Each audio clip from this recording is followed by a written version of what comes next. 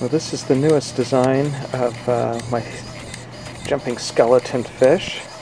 Redesigned it and uh, put all the electronics and the servo up in the head. And then this particular one is just being run by a 3 AA pack right down here. That's what's going to power what powers him.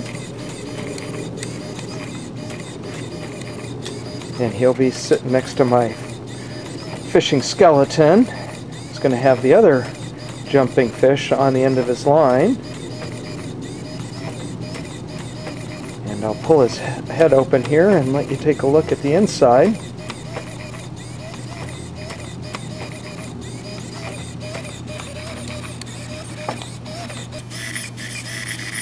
Here's what it looks like inside.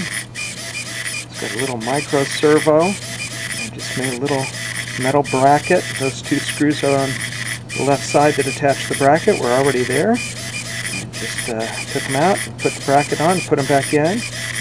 And then it's being controlled by one of my little microcontrollers that uses a PICAXE 08. And that's all there is to it. And connected by a thin piece of wire. And that's what gives him his action. So there he is.